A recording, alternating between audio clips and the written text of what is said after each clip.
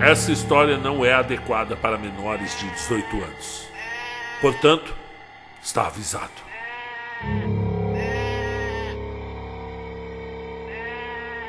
A produção desse conto só foi possível graças à ajuda no Pix do canal na chave marcelofc18@hotmail.com do ouvinte Rodrigo Jordão.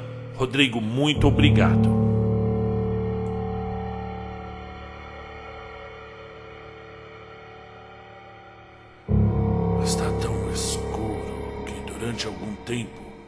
Quanto exatamente eu não sei, penso que ainda estou inconsciente. E então, lentamente, ocorre-me a ideia de que os inconscientes não têm a sensação de movimento no escuro, acompanhada por um tênue som rítmico, que só pode ser o de uma roda rangendo. E eu posso sentir contato, do alto da cabeça aos calcanhares. Além disso, sinto o cheiro de algo, algo que poderia ser borracha ou vinil isto não é inconsciência. E há algo também. Também o quê? Excessivamente racional nessas sensações para que isto seja apenas um sonho. Então o que será? Quem sou eu? E o que está me acontecendo? A roda rangente detém o ritmo estúpido e eu paro de me mover. Há um som de estalo à minha volta, vindo da coisa que cheira a borracha. Uma voz. Qual delas eles disseram? Uma pausa. Segunda voz. Quatro, eu acho. É quatro. Começamos a nos mover de novo, mas de modo mais lento. Posso ouvir o tênue roçar dos pés agora, provavelmente com sapatos de sola macia talvez tênis. Os donos das vozes são os donos dos sapatos. Eles me param de novo. Há um choque seguido por um leve ush. Acho que é o som de uma porta pneumática sendo aberta. O que está acontecendo? Berro, mas o berro só ocorre na minha mente. Meus lábios não se mexem. Posso senti-los e a língua também, deitada no chão da boca como uma topeira aturdida. Mas não consigo movê-los. A coisa em que começo a rodar de novo será uma cama que se move? Eh, sim, eh, em outras palavras, uma maca. Uma maca sobre rodas. Já tive contato com elas há, há muito tempo. Na desprezível aventurazinha asiática com Lyndon Johnson. Dou-me conta de que estou num hospital, de que algo ruim me aconteceu, como a explosão que quase me castrou há 20 anos, e que talvez eu seja operado.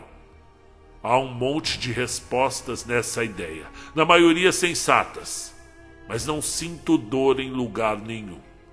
Exceto pela questão menor de estar desarvorado de medo. Isso eu sinto bastante. E se esses homens são atendentes de hospital me empurrando para a sala de cirurgia? Por, por que eu não consigo enxergar? Por, por que eu não consigo falar? Uma terceira voz. Aqui, rapazes. Meu leito sobre rodas é empurrado numa outra direção. E a pergunta que me martela a cabeça é: em que droga de confusão foi que eu me meti? Isso não depende de quem você é pergunto a mim mesmo. Mas descubro que pelo menos uma coisa eu sei. Sou Howard Cottrell, um corretor da bolsa, conhecido por alguns colegas como Howard, ou Conquistador. Segunda voz, vindo de um ponto acima de minha cabeça. Você está muito bonita hoje, doutora. Quarta voz, fria, de uma mulher. É sempre bom ter o seu aval, Rust.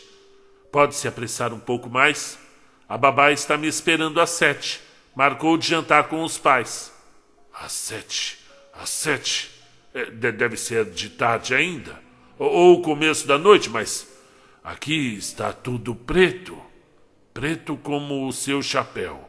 Preto como o eu de uma marmota. Preto como a meia-noite na Pérsia. O que, que está acontecendo? Onde é que eu estive? O que eu andei fazendo? Por, por que eu não estou ocupando os telefones? Porque é sábado, murmura uma voz lá longe. Você estava. estava. um som. Walk! Um som que eu adoro. Um som para o qual eu mais ou menos vivo. Um som de. O quê? A, a ponta de um taco de golfe, isso, é claro. Batendo na bola pousada no pino de plástico. eu fico em pé e a observo enquanto voa, mergulhando no azul. Sou agarrado pelos ombros, panturrilhas e levantado. Isso me assusta terrivelmente e tento gritar. Nenhum som sai de mim. Ou, ou talvez saia um minúsculo guincho, muito menor do que o produzido pela roda lá de baixo. Provavelmente nem mesmo isso. Provavelmente é apenas minha imaginação. Sou impelido através do ar num envelope de escuridão. Ei, não me deixem cair! Eu tenho um problema na coluna, tento dizer. E mais uma vez não há qualquer movimento nos lábios ou mesmo nos dentes. A minha língua continua depositada no chão da boca. A toupeira talvez não esteja só aturdida, e sim morta. A agora me ocorre a ideia horrível que empurra o medo um pouco mais para perto do pânico. E se me abaixarem do lado errado? Minha língua escorregar para trás e bloquear a traqueia. Não vou conseguir respirar. É, é, isso que se referem quando dizem que alguém é, engoliu a língua, não é? Segunda voz, Rust. Vai gostar dele, doutora. Ele parece com o Michael Bolton. E a médica? Quem é esse? Uma terceira voz.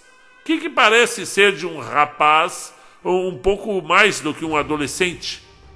É um cantor de bar branco que quer ser negro? Eu acho que não é ele. Um riso acolhe essas palavras, e a voz de mulher o acompanha, um pouco em dúvida. Enquanto sou posto no que parece uma mesa, uma mesa acolchoada. Rust começa uma nova gracinha. Aparentemente tem todo um repertório de tiradas espirituosas. Perco o estrecho de hilaridade num jorro de súbito horror. Eu não vou conseguir respirar se a minha língua bloquear a traqueia. É, é o que acaba de me passar pela cabeça. Mas.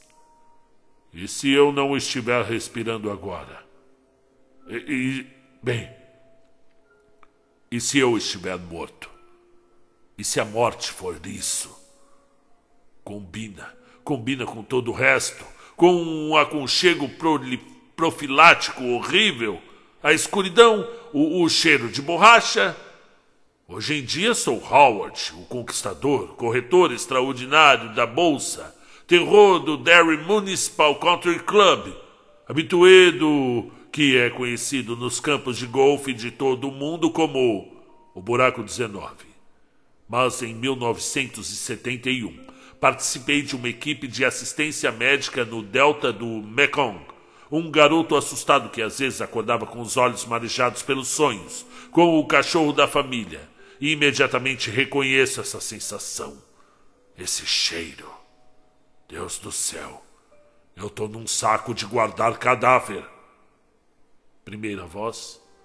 Quer assinar isso, doutora? Lembre de escrever com força, são três cópias. Ruído de uma caneta arranhando o papel. Imagino o dono da primeira voz segurando uma prancheta para a médica. Ah, meu Deus! Faça com que eu não esteja morto! Eu tentei gritar, mas não saiu nada. Mas eu estou respirando, não estou? Isso é, eu não consigo sentir que estou respirando. Mas os pulmões parecem ok, não latejam nem estão desesperados por ar como quando se nada muito no fundo. Então devo estar bem, não é? Não é? Bem. Mas se você estivesse morto, eles não estariam aflitos por ar, estariam? Não, porque os pulmões dos mortos não precisam respirar. Os pulmões dos mortos simplesmente meio que relaxam. Rust, o que você vai fazer no sábado à noite, doutora? Mas, mas se eu tô morto, como posso ter sensações? Sentir o cheiro desse saco, por exemplo? Como posso ouvir essas vozes? A médica dizendo que no próximo sábado vai dar banho no cachorro, que também se chama Rust. Que coincidência! E ouvir todos eles rindo. Se eu estou morto, por que também não desapareci ou entrei por aquela luz branca de que sempre falam no programa da Oprah? Ouço o som áspero de algo rasgando e subitamente estou sob a luz branca.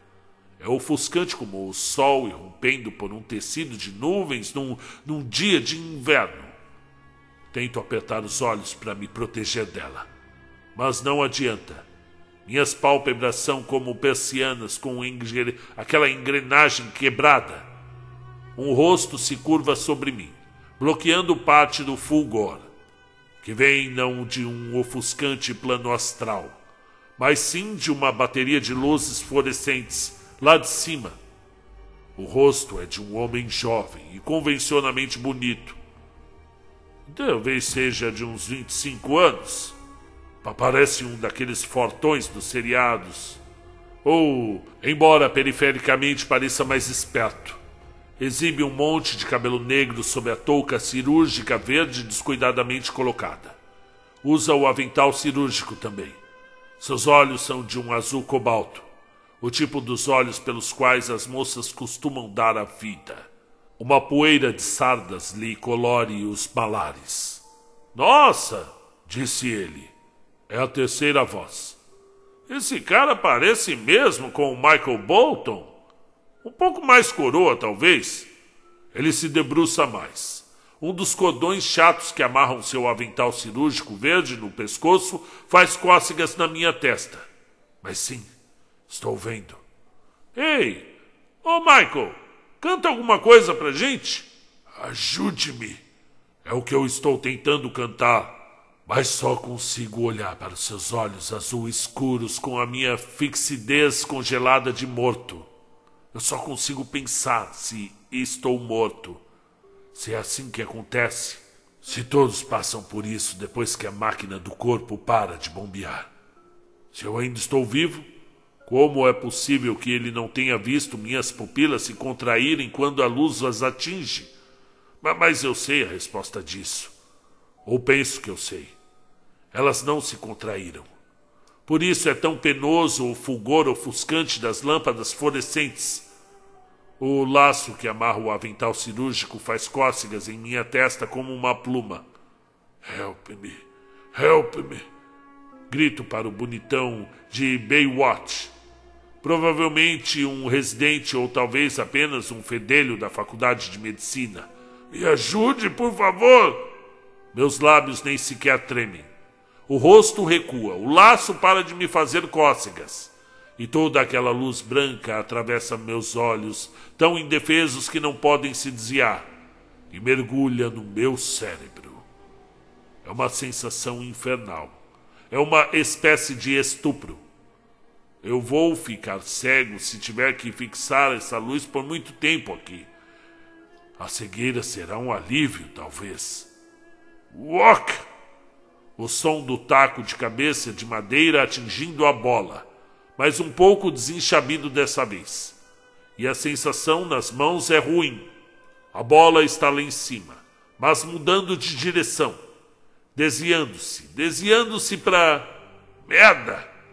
Estou no mato além do campo de golfe. Agora outro rosto curva-se para dentro do meu campo de visão. A pessoa enverga o avental cirúrgico branco em vez de verde e exibe um incrível e desleixado chumaço de cabelos cor de laranja, que nas últimas é a minha primeira impressão. Só pode ser o Rust. Ele mostra um grande sorriso tolo que considero um sorriso de ginásio o típico sorriso de um garoto com uma tatuagem no bíceps fraco que diz: Nascido para puxar e soltar alças de sutiã, com apenas um estalo. Michael! exclama Rust, Nossa, Michael, você tá com uma aparência ótima. É uma honra. É, é, canta para nós, garotão. Canta até estourar. De algum ponto atrás de mim chega a fria voz da doutora. Não mais preocupadas querem fingir que se diverte com aquelas palhaçadas. Para com isso, Rust. Então, numa direção de ligeiramente diferente, disse: Qual é a história, Mike? Mike, o parceiro de Rust, é a primeira voz e aparece um tanto constrangido por trabalhar com um cara que quer ser comediante quando crescer. Ah, ele foi encontrado no buraco 14, doutora. É, no campo de golfe municipal de Derry. É, é, na verdade, fora do campo, né? De, no, no, mato, depois dos gramados. E, e veja só, se, ele não tivesse acabado de jogar uma partida de duplas, e se não tivessem visto uma de suas pernas para fora do mato, ele estaria agora sendo comido pelas formigas. Ouço aquele som na mente de novo. Walk! Só que dessa vez o som é seguido por outro, muito menos agradável. O roçado mato baixo enquanto eu o varro com a ponta do taco. Tinha que ser o 14. Onde se sabe que há um sumagre venenoso. Sumagre. Rust ainda está me espiando lá de cima estúpido e ávido. Não é a morte que o interessa. É a maldita minha semelhança com Michael Bolton. Ah, sim, eu sei que ela existe. Eu não tenho me eximido de usá-la com certas clientes. Caso contrário, envelhece logo. E, e nessas circunstâncias. Meu Deus. O médico que o atendeu? Pergunta a médica. Foi Casalian? Não, disse Mike, e apenas por um momento ele me olha. Pelo menos uns dez anos mais velho do que o Rust. Cabelo preto com toques grisalhos. Óculos. Como é possível que nenhuma dessas pessoas veja que eu ainda estou vivo? Na verdade, foi o médico que estava na partida de duplas que o encontrou. Sua assinatura está aqui na página 1, tá vendo? Ruído de páginas sendo viradas. Puxa, é Jennings. Eu o conheço. Xiii, ele fez o exame médico em Noé, depois que a barca ancorou no Monte Aratato. Rusty parece não ter entendido a piada, mas mesmo assim ri asperamente no meu rosto. Sinto o cheiro de cebola do seu hálito, uma certa sobra do almoço. Bem, se eu posso sentir o cheiro de cebola, Devo estar respirando. Devo, não é? Se pelo menos. Antes que eu possa terminar o pensamento, Rust debruça-se mais e sinto um jorro de esperança. Ele viu alguma coisa. Viu alguma coisa e vai me fazer uma respiração boca a boca. Deus o abençoe, Rust. Deus abençoe você e o seu hálito de cebola. Mas o sorriso estúpido não muda e em vez de colocar a boca na minha, sua mão desliza pelo meu maxilar. Então agarra um dos lados com o polegar e o outro lado com os dedos que sobram. Ele está vivo! exclama Rust. Ele está vivo e vai cantar o fã clube Michael Bolton para a sala 4. Seus dedos apertam mais. Dói de um modo distante, como quando o efeito da novocaína se dissipa e começa a mover meu maxilar para cima e para baixo, fazendo os dentes se chocarem. Se ela é má, ele não pode ver.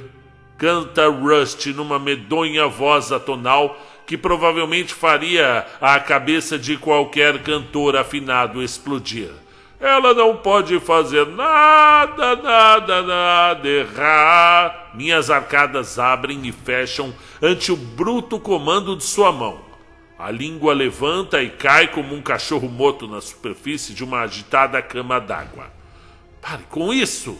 retruca a médica, parecendo realmente chocada. Talvez sentindo isso, Rusty não para, continua alegremente. Seus dedos agora beliscam as minhas faces, enquanto meus olhos imóveis fixam cegamente um ponto lá em cima. vira as costas ao seu melhor amigo. Se ela o deixa. Então ela se aproxima. Uma mulher de avental cirúrgico verde com a touca cirúrgica amarrada ao pescoço e pendurada nas costas, como o sombreiro de Cisco Kid. Cabelo castanho curto penteado para trás. Bonita, mas severa. Mais bonitona que bonita. Agarra Rust com uma das mãos de umas unhas curtas e o empurra para longe de mim. Ei! Diz Rust indignado. Tire as mãos de mim! Então tire as mãos dele, diz ela. E não há nenhuma dúvida sobre a raiva em sua voz. Eu tô cansada das suas gracinhas de aluno do segundo ano, Rust. E da próxima vez que começar com isso, vou dar queixa de você. Vamos todos nos acalmar, disse o bonitão de Bainwatt, assistente da doutora. Parece alarmado, como se esperasse que Rust e a chefe se engalfinhassem ali mesmo. Vamos pôr uma pedra nisso. E, e por que ela está me sacaneando? Diz Rust, ainda tenta se mostrar indignado, mas agora está se lamuriando. Depois, num tom levemente diferente. Por que é que você está me sacaneando assim? Você está com TPM, é? A médica parecendo fata. Tire ele daqui. Mike, vamos, Rust. Vamos assinar o boletim. Rust, tá e respirar um pouco de ar fresco. E eu, ouvindo tudo aquilo como se fosse de um rádio. Os pés dele rangem na direção da porta. Rust, agora todo amuado e ofendido, pergunta à médica por que não usa uma luz vermelha ou qualquer coisa assim para que as pessoas saibam. Sapatos macios rangem pelos ladrilhos. Repentinamente, esse som é substituído pelo som do meu taco, afastando as moitas para procurar a desgraçada da bola. Onde ela está? Não afundou muito, eu tenho certeza. Então, onde ela está, Jesus? Detesto o 14. Parece que há um magre venenoso aí. E com todo esse mato abaixo, é bem provável que haja. E então algo me picou. Foi isso, não foi? Sim, eu tenho quase certeza. Na panturrilha esquerda, pouco acima da meia soquete. Algo me picou. Uma agulhada, uma agulhada quente e viva de dor, perfeitamente concentrada no início e depois foi se espalhando. E então a escuridão. Até a maca de rodinhas, aninhado num saco de guardar cadáver fechado com zíper e escutando Mike qual delas eles disseram? E Rust? Quatro, eu acho. É quatro. Eu acho que foi uma cobra. Mas, mas talvez ache isso por estar pensando nelas enquanto procurava a bola. Poderia ter sido um inseto. Eu só lembro do único fio de dor. E afinal de contas, que importância isso tem? O importante é que eu estou vivo. E eles não sabem. É inacreditável, mas não sabem. É claro que eu tive azar. Eu conheço o Dr. Jennings. Eu lembro de falar com ele quando nos cruzamos no buraco 11. É um sujeito bastante simpático, sim, mas ambíguo, uma relíquia. A relíquia decretara que eu estava morto.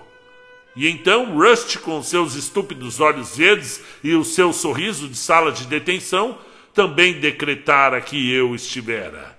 E estava morto. A médica, senhorita Cisco Kid. Nem sequer me olhar ainda. Não para valer. Quando o fizesse, talvez. Detesto aquele idiota, diz ela quando a porta é fechada. Agora somos só nós três. Embora a senhorita Cisco Kid pense que somos só nós dois, é claro. Por que pego sempre os idiotas, Peter? Eu não sei diz o Sr. Melrose Place. Mas Rust é um caso especial.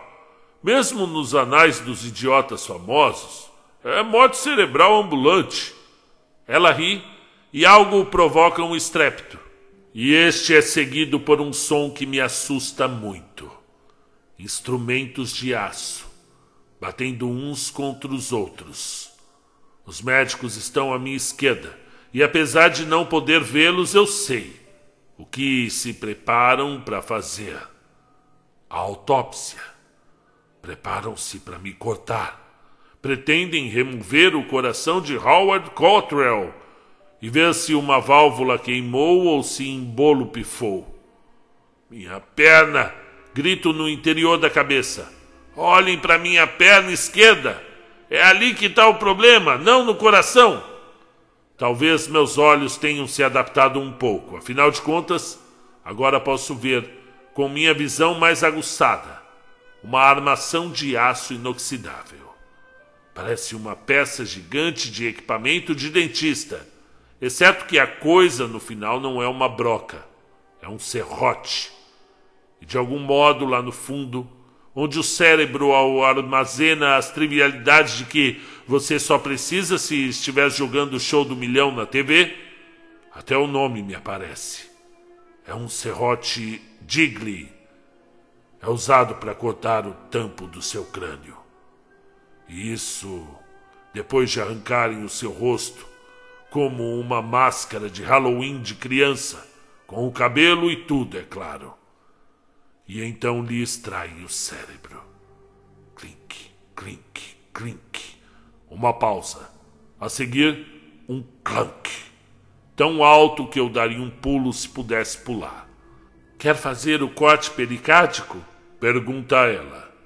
Pete, cauteloso. Você quer que eu faça? Com um tom de voz agradável, o tom de voz de alguém concedendo um favor e uma responsabilidade, a doutora Cisco responde: Eu acho que sim. Tá bom, muito bem. Vai ajudar? Seu confiável copiloto, diz ela rindo, e pontua o riso com um som de snick snick. É o som de uma tesoura cortando o ar. Agora o pânico se bate de um lado para o outro, adejando dentro do meu crânio como um bando de estorninhos trancados no sótão.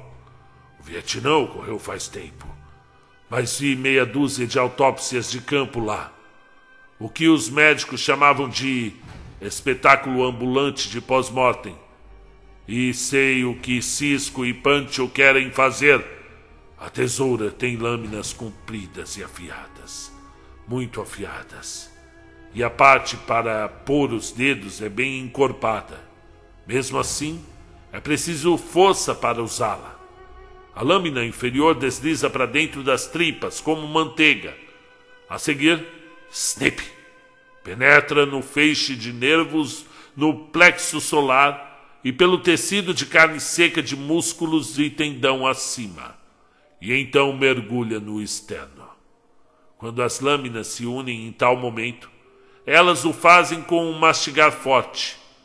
Quando as partes do osso e a armação das costelas se separam, como um par de barris amarrados juntos com um cordão forte. E depois a tesoura continua em frente. Tesoura que parece muito mais com a de um açougueiro de supermercado usa para cortar aves. Snape, crunch, snape, crunch, snape, crunch. Separando o osso e cortando o músculo, libertando os pulmões, dirigindo-se à traqueia transformando Howard, o conquistador, num jantar do dia de ação de graças que ninguém comerá. Um gemido tênue e lamentoso. Isso soa realmente como broca de dentista. Peter, eu posso? Doutora Cisco, na verdade parecendo um pouco maternal. Não, esta. Snake, Snake, demonstrando para ele. Não podem fazer isso, penso. Não podem me cortar, eu vou sentir. Por quê? pergunta ele. Porque é assim que eu quero, diz ela, parecendo um pouco menos maternal. Quando estiver por sua conta, Pitizinho, vai poder fazer o que quiser.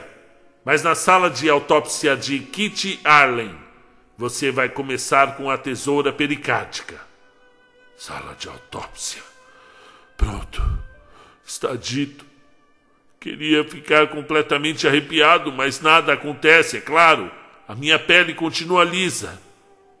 Lembre-se, diz doutora Allen, que agora está, na verdade, fazendo uma palestra.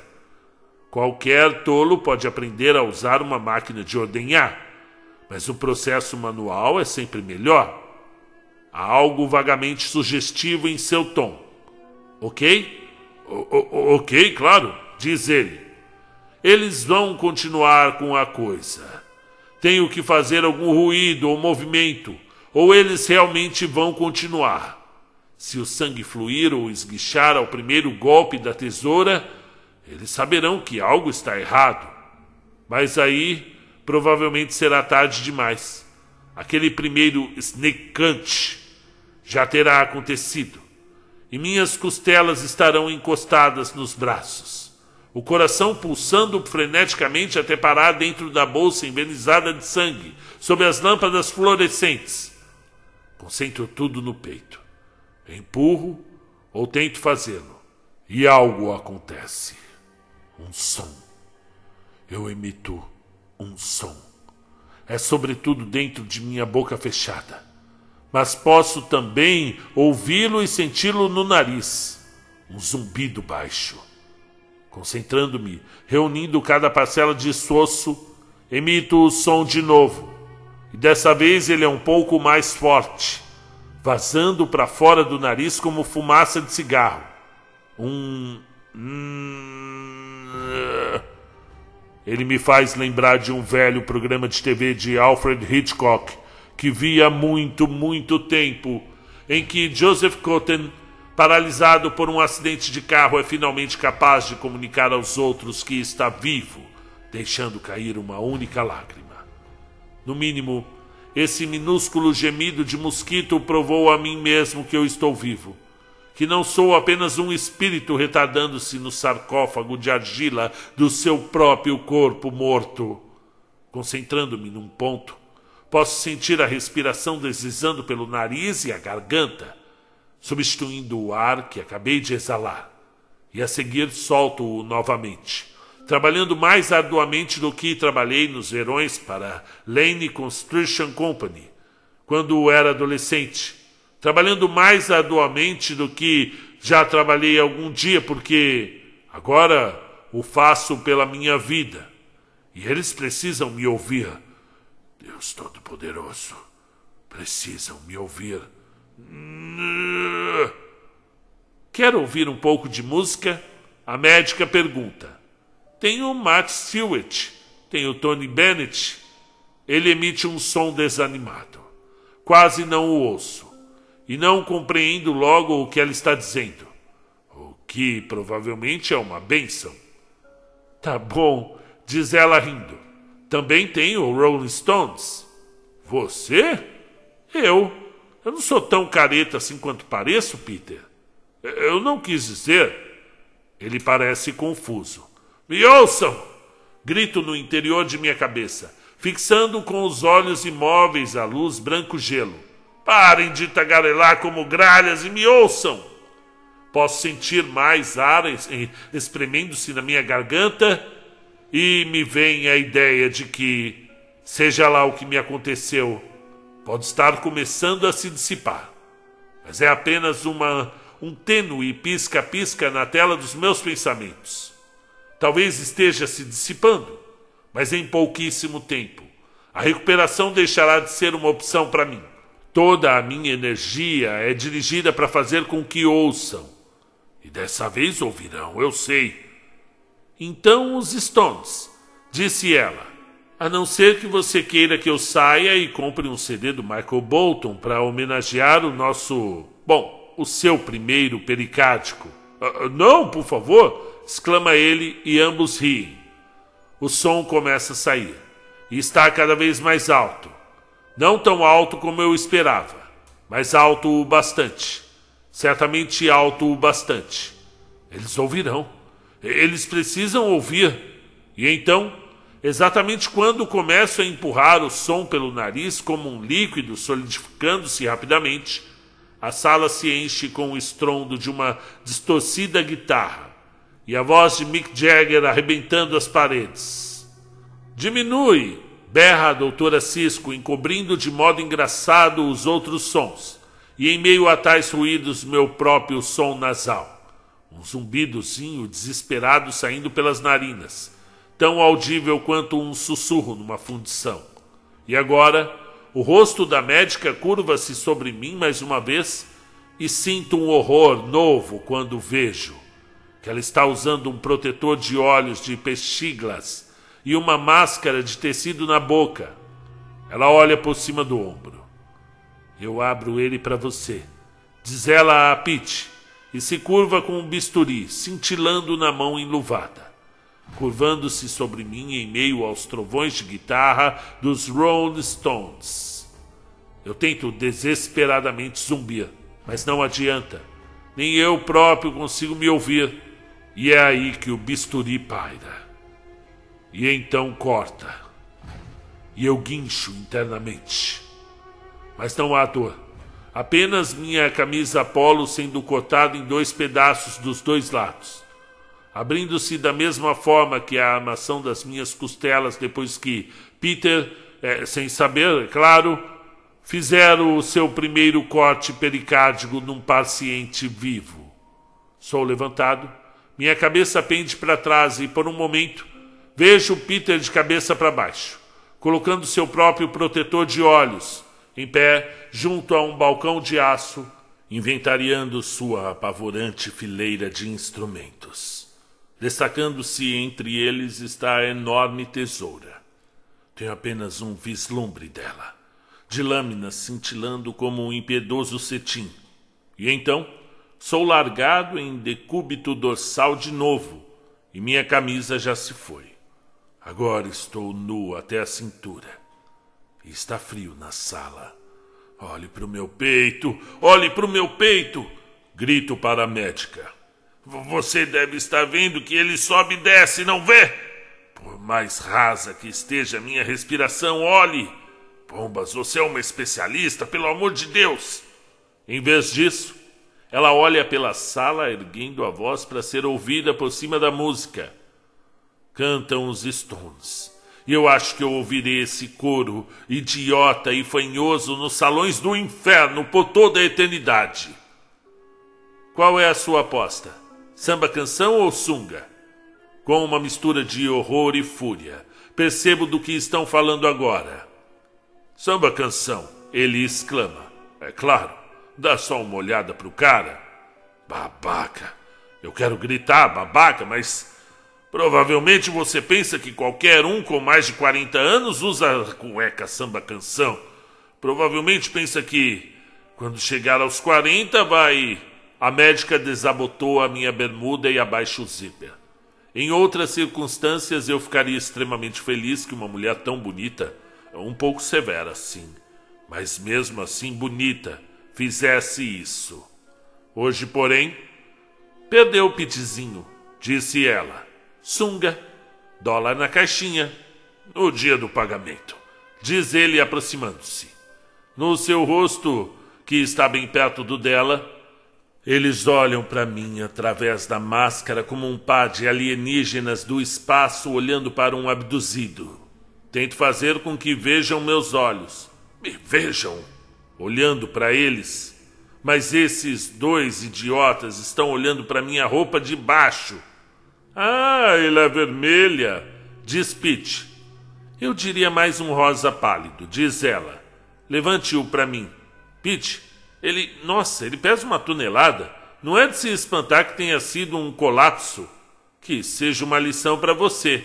Eu estou em forma, berro para ela. Provavelmente em melhor forma do que você, sua vaca. Meus quadris são repentinamente lançados para cima por mãos muito fortes. Minhas costas estalam. O som faz meu coração dar um pulo. Eh, desculpa, cara, diz Pete e de repente sinto mais frio do que nunca, quando minha bermuda e a sunga vermelha são abaixadas. Para cima com um, diz ela erguendo um de seus pés. Para cima com o outro, diz erguendo o outro pé. Fora os mocassins e fora as meias. Ela para abruptamente e a esperança se aposta de mim mais uma vez. Pete, o que é? A rapaziada costuma usar bermudas e bocassins para jogar golfe? Por trás dela, mas ali fica apenas a fonte. Na verdade, a música está, em, está toda em torno da gente. Os, Os Rolling Stones prosseguiram e Mick Jagger canta, e eu cogito o quão funk ele dançaria com uma das três bananas de dinamites de alta potência enfiadas no seu rabo magro. Se quer saber, esse cara estava simplesmente procurando problema. Continua. Pensei que eles usassem esses sapatos especiais, muito feios, muito específicos para o golfe, com pequenas saliências nas solas. É, mas usá-los não é obrigatório, diz Pete. Ele estende as mãos enluvadas sobre o meu rosto virado para cima, enlaça-as e faz os dedos estalarem. Quando os nós dos dedos estalam, desce um borrifo de talco como uma neve fina. Pelo menos ainda não. Não é como os sapatos de boliche. Se pegarem alguém jogando boliche sem os sapatos de boliche, bicho, podem mandar a pessoa para a prisão estadual. É mesmo? É. Quer se encarregar do exame macroscópico? Não, não, guincho eu. Não, ele é só um garoto. O que é que você está fazendo? Ele a olha como se esse mesmo pensamento lhe tivesse ocorrido. Isso uh, não é estritamente legal, é, Kate? Isso é.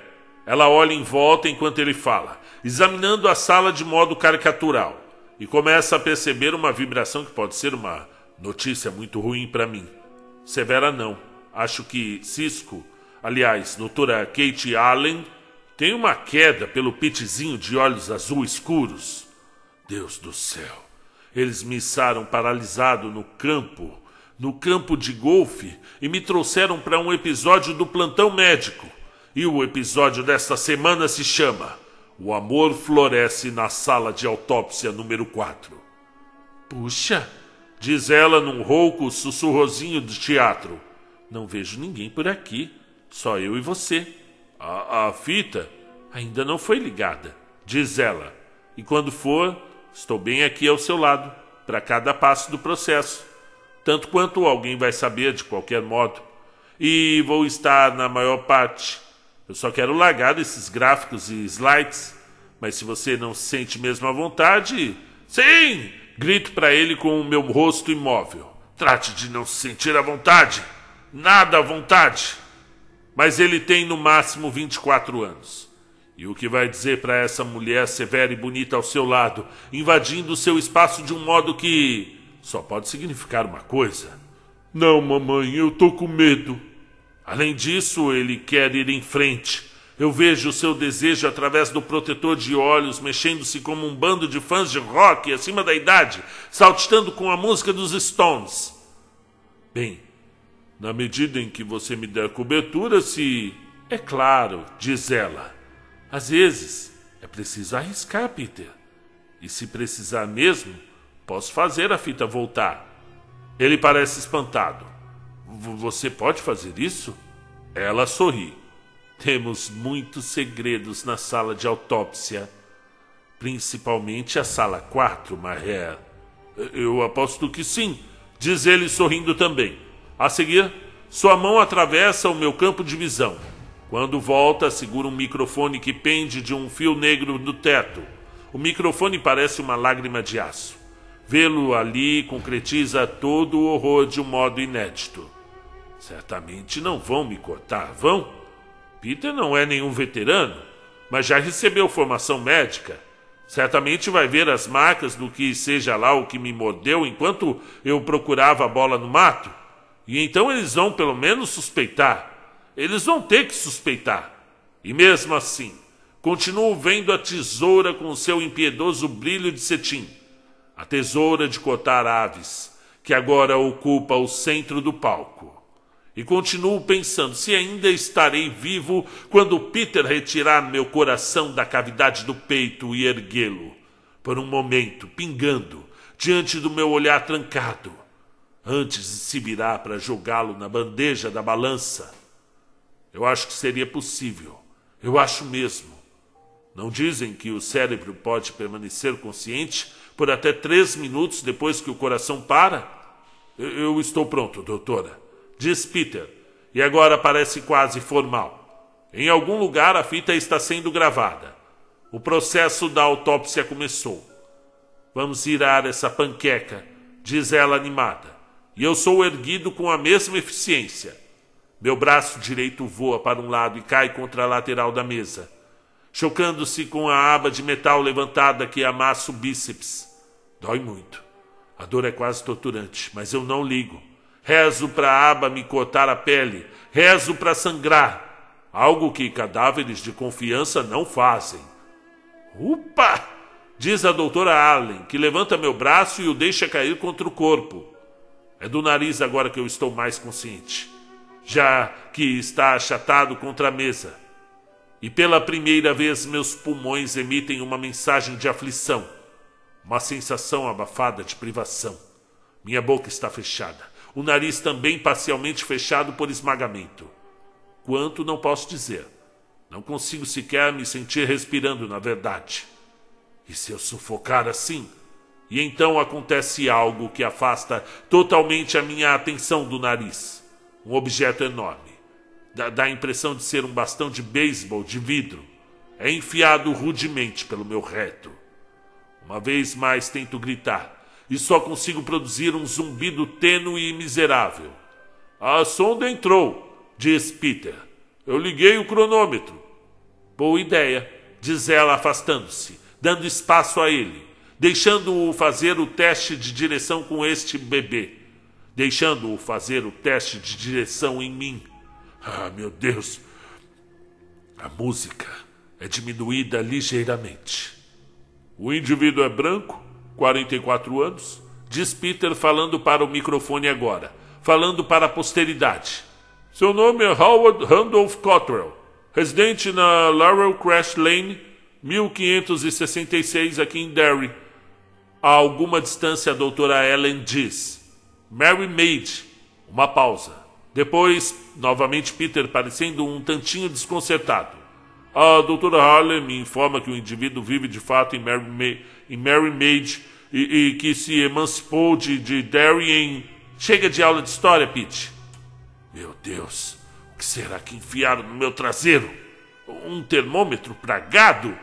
Se ele fosse um pouco mais comprido, eu sentiria o gosto do bulbo na ponta. E, e eles não são entusiastas da lubrificação? Será possível? Mas por que seriam, afinal? Eu tô morto. Eu tô morto. Desculpe, doutora, diz Peter atrapalhado. Ele procura o lugar onde parou e finalmente o encontra. Essa informação é do formulário da ambulância originalmente tirada de uma licença de motorista do estado do Maine. O, o, o médico que atestou o óbito foi, uh, foi Frank Jennings. Uh, o indivíduo foi declarado morto no próprio local. Agora é do meu nariz que espero que saia sangue. Por favor, digo a ele. Sangra, porra! Mas não, não sangre apenas. Jorre! Ele não obedece. A causa da morte pode ter sido um colapso cardíaco, diz Peter. A mão leve roça pelas minhas costas nuas até a fenda da minha bunda. Rezo para que ela remova o termômetro, mas ela não o faz. A espinha está aparecendo intacta, nada de anormal detectável. Nada normal detectável?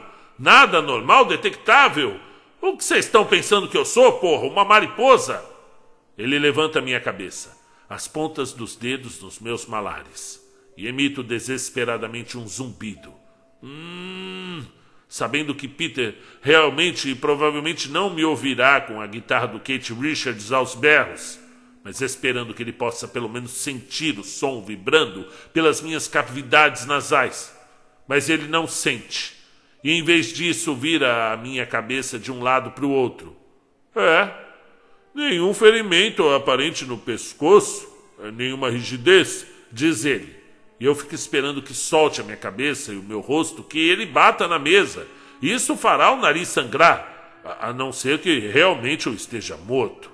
Mas Pete pousa minha cabeça suavemente, gentilmente, esmagando mais uma vez a ponta do meu nariz e tornando o sufocamento de novo uma possibilidade concreta. É, nenhum ferimento visível nas costas ou nas nádegas, embora haja uma antiga cicatriz na parte superior da coxa direita, que parece ser um ferimento, uh, estilhaço de granada, talvez. É uma cicatriz feia. Era feia. E era estilhaço de granada. O fim da minha guerra. Um morteiro atirado numa área de abastecimento. Dois homens mortos e um homem com sorte. Eu. A cicatriz é muito mais feia na frente. E num local, num local mais sensível, porém, todo o equipamento funciona. Ou, ou funcionava, pelo menos até hoje. Mais um centímetro para a esquerda e eu talvez tivesse que usar um macaco hidráulico nos momentos íntimos. Finalmente ele retira o termômetro. Ah, Deus Todo-Poderoso, que alívio! E na parede posso ver a sombra de Pete segurando o instrumento. 34, diz ele. Puxa, nada mal. Esse cara praticamente podia estar vivo, Kate. É, quer dizer, doutora Ellen. Lembre-se de onde o encontraram diz ela do outro lado da sala. A gravação que ouviam estava num intervalo e, por um instante, escutei claramente o tom professoral da médica. Campo de golfe? Tarde de verão? Se você contar, constatasse 36 graus de temperatura, eu não ficaria surpresa. Certo, certo. Ele responde, dando a impressão de ter sido castigado. A seguir, tudo isso não vai ficar engraçado na fita, vai? Tradução. Eu não vou parecer burro na fita, não é? Vai parecer uma situação de aprendizado, disse ela. O que de fato é. Ah, ok, tá bom. Seus dedos de borracha se acharam sobre minhas nádegas. Depois as soltam e trilham para a parte de trás das coxas. Eu ficaria tenso agora se pudesse ficar tenso. Perna esquerda, envio a mensagem para ele. Perna esquerda, Pitizinho. Panturrilha esquerda, não vê? Ele deve ver, ele precisa ver, porque eu posso sentir a coisa latejando como uma ferroada de abelha ou talvez uma injeção dada por uma enfermeira desajeitada. Alguém que aplica a injeção no músculo em vez de pegar a veia. O indivíduo é realmente um bom exemplo de como não se deve jogar golfe de bermudas, diz Pete. E me descubro desejando que ele tivesse nascido cego, porque que diabos! Talvez ele tivesse nascido cego pelo menos está aparecendo. Eu vejo picada de inseto de vários tipos. Picada de bicho de pé, arranhões. Mike disse que o encontraram no mato do campo de golfe, acrescenta Allen. Ela faz um barulho infernal. Parece lavar louça numa cafeteria, em vez de estar praticando taxidermia. Meu palpite é que ele teve um infate enquanto procurava a bola. Aham. Uhum. Continue, Pete. Você está indo bem. Eu acho essa afirmação extremamente discutível. Ok. Mais cutucadas e sondagens. Muitas suaves. Talvez suaves demais. Há picadas de mosquito na panturrilha esquerda, aparentemente infectadas, diz ele. E embora seu toque continue suave, dessa vez a dor é um enorme latejar que me faria gritar se eu pudesse emitir qualquer som que não fosse um zumbido em tom baixo. Ocorre-me subitamente que minha vida pode depender do tamanho da fita dos Rolling Stones que estão ouvindo, sempre imaginando que seja uma fita e não um CD que toca direto e direto. Se ela acabar antes que me cortarem, se eu conseguir zumbir alto o suficiente para que ouçam antes que um deles ponha outro lado da fita, posso querer examinar essas picadas depois da autópsia macroscópica, diz ela. Se bem que, se estivermos certos sobre o coração, não vai haver necessidade. Ou quer que eu as examine agora? Está preocupado com elas? Eh, não, eh, são nitidamente picadas de mosquito, diz o idiota da aldeia. São maiores do lado esquerdo. E ele recebeu cinco, eh, quer dizer, sete, oito. Nossa, é quase uma dúzia só na perna esquerda. É, vamos ver. Eu acho que ele esqueceu o repelente dos bosques em casa. O repelente não é nada. Ele esqueceu a digitalina, diz Pete. E eles dão uma risada simpática. Humor de sala de autópsia. Dessa vez ele me vira sozinho, provavelmente contente em usar aqueles músculos de rapaz sarado desenvolvidos nas academias, escondendo as picadas de cobra e de mosquito por ali camuflando-as. Estou olhando fixo para a bateria de luzes fluorescentes mais uma vez. Peter recua um passo e sai do meu campo de visão. ouço um zunido. A mesa começa a se inclinar e eu não sei porquê. Quando me cortarem, os fluidos escorrerão para os pontos de recolhimento da base. Montes de amostras para o laboratório estadual em Augusta, se alguma dúvida for levantada pela autópsia. Concentro toda a vontade e todo o esforço para fechar os olhos enquanto Pete olha para o meu rosto, mas não consigo produzir um tique sequer. Eu queria 18 buracos de golfe na tarde de sábado. 18! Em vez disso, eu me transformei na Branca de Neve com o cabelo no peito. E não consigo parar de pensar no que sentirei quando aquela tesoura de cortar aves se enfiar por entre o meu ventre adentro. Pete segura uma prancheta. Depois de consultá-la, deixa-a de lado e a seguir fala ao microfone. Sua voz está um pouco menos pomposa agora. Ele acaba de fazer um diagnóstico mais medonhamente errado de sua vida mas não sabe, e então começa a se aquecer.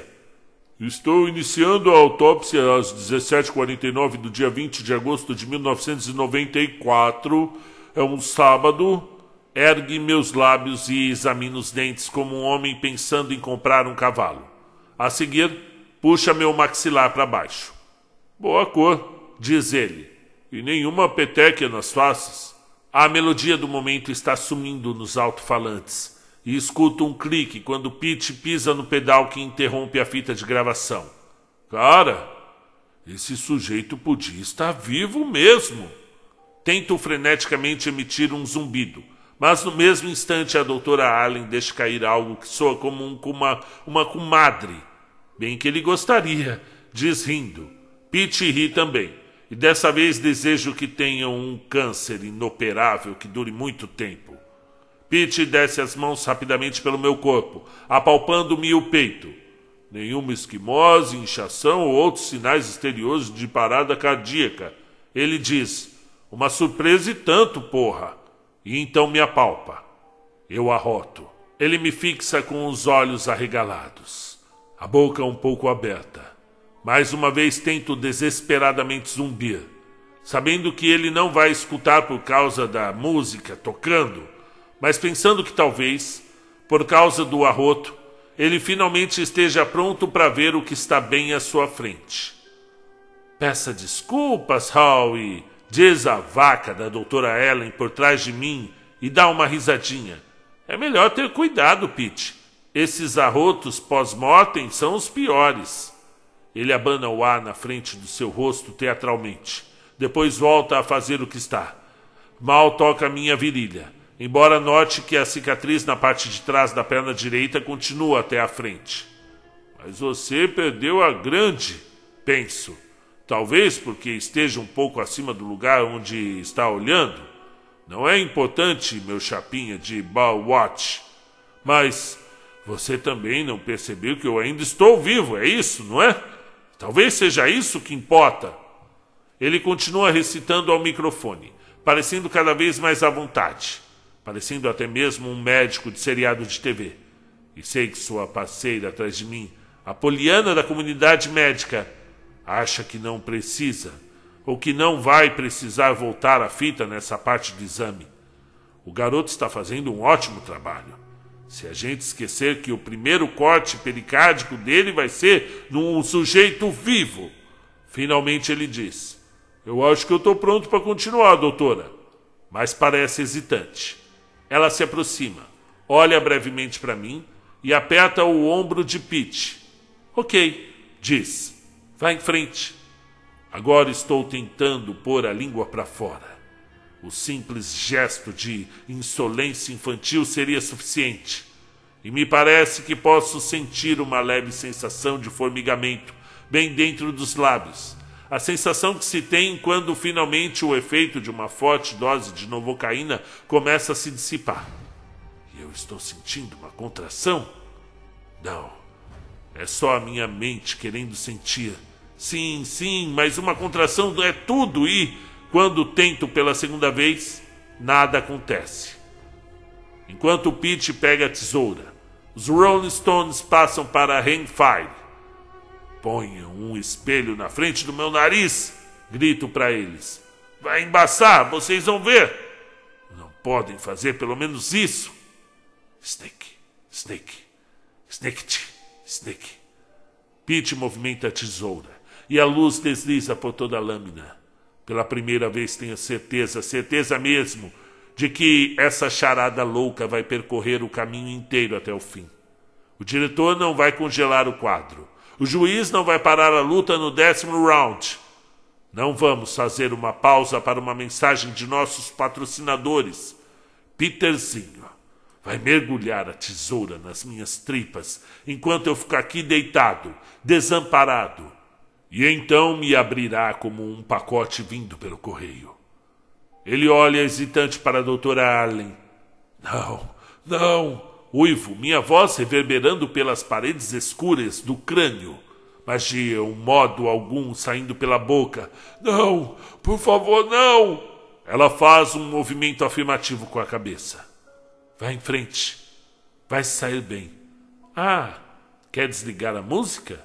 Sim, sim, desligue. Está incomodando você? Sim, está incomodando sim. Já o perturbou tanto que ele acha que o paciente está morto. Bem, claro, diz ela e some do meu campo de visão. Um instante depois, Mickey e Kate finalmente se foram. Tento reproduzir o zumbido com o nariz e descubro uma coisa horrível. Agora não consigo fazer nem aquilo. Estou apavorado. O medo trancou as minhas cordas vocais. Posso apenas olhar fixamente, enquanto ela se junta a ele, e os dois me contemplam lá de cima. Coveiros olhando para um túmulo aberto. Obrigado, diz ele, e então respira profundamente e ergue a tesoura, iniciando o corte pericárdico. Ele abaixa e ergue a tesoura. Iniciando o corte pericárdico, ele abaixa a tesoura lentamente. Eu a vejo, eu a vejo, e então ela desaparece do meu campo de visão. Um longo momento depois. Sinto o frio do aço aninhar-se contra a parte superior do meu ventre nu. Peter olha em dúvida para a médica. Tem certeza de que você não. Quer se especializar nesse campo ou não, Peter? Pergunta ela com alguma aspereza. Você sabe que sim, mas. Então corte. Ele concorda com a cabeça, apertando os lábios. Eu fecharia os olhos se pudesse. Mas é claro que eu não posso sequer fazer isso. Posso apenas reunir as forças contra a dor que está a um ou dois segundos de distância agora. Reunir as forças contra a lâmina de aço. Cortando, diz ele, curvando-se para frente.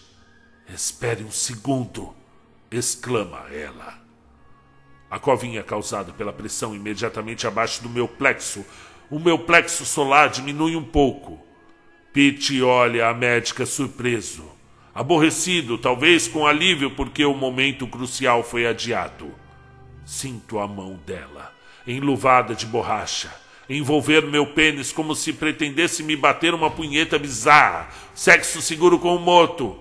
E então ela diz: Você deixou escapar esta aqui, Pete. Ele se inclina para frente, examinando o que ela descobriu: a cicatriz na minha virilha bem no alto da coxa direita. Uma elevação vidrada sem poros na carne. A mão da médica ainda segura meu pau, tirando-o do caminho. Faz apenas isso. No que lhe diz respeito, poderia estar da mesma forma segurando uma almofada do sofá para que o outro possa ver o tesouro que ela descobriu ali embaixo. Moedas, uma carteira perdida, talvez um camundongo que o gato matou e que você não conseguiu encontrar. Mas alguma coisa está acontecendo. Meu Deus do céu, que acorde as causas perdidas. Alguma coisa está acontecendo. E olhe, diz ela. Seu dedo alisa agradavelmente uma linha que atravessa a lateral do meu testículo direito. Olha essas cicatrizes na linha do cabelo. Puxa, seus testículos devem ter inchado até quase o tamanho de uma maçã. É sorte ele não ter perdido um ou dois. Pode apostar o seu. Aposte o seu. Você sabe o que? Diz ela e solta aquele riso suavemente sugestivo de novo. Sua mão enluvada afrouxa-se, move-se, Depois empurra firmemente para baixo, tentando aumentar a área de visão. Ela está fazendo por acaso que você pode pagar 25 ou 30 pratas para ser feito de propósito, em outras circunstâncias, é claro. É um ferimento de guerra, acho eu. Me dá aquela lupa, Pete. Mas eu não devia. Só um segundo, diz ela. Ele não vai para lugar nenhum. A médica está totalmente absorvida no que descobriu. Sua mão ainda está em mim, ainda pressiona para baixo. E o que aconteceu parece estar acontecendo ainda. Mas talvez eu esteja enganado. Devo estar enganado ou Pete a ouviria. Ela perceberia.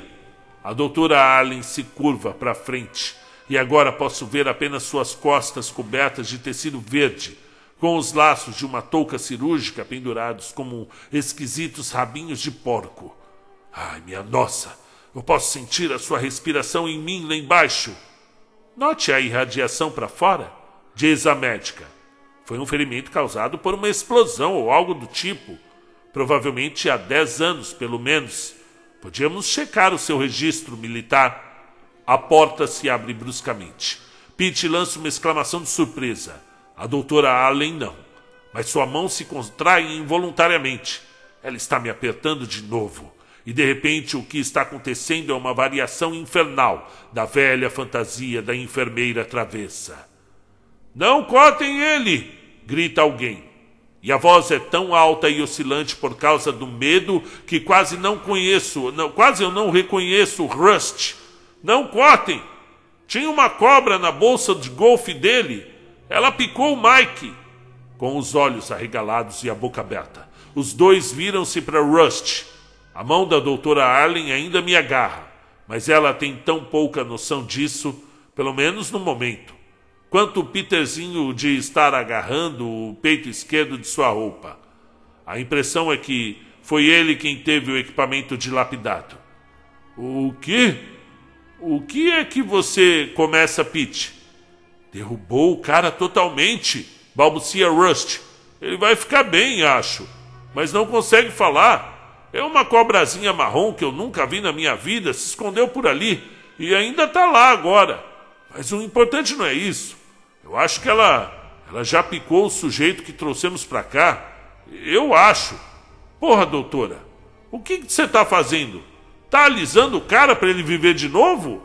A doutora Harling olha ao redor, aturdida, inicialmente sem entender o que Rusty está falando, até perceber que segura agora um pênis quase totalmente em ereção.